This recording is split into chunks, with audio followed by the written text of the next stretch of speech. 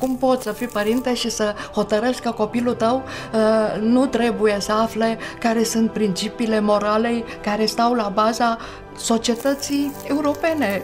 Cum oare să nu pot mărturisi adevărul? Eu cred în demnitate și responsabilitate. Eu cred că toleranța stă în puterea iubirii. Ar trebui să avem privirea în sus. Eu cred că sufletul nu moare.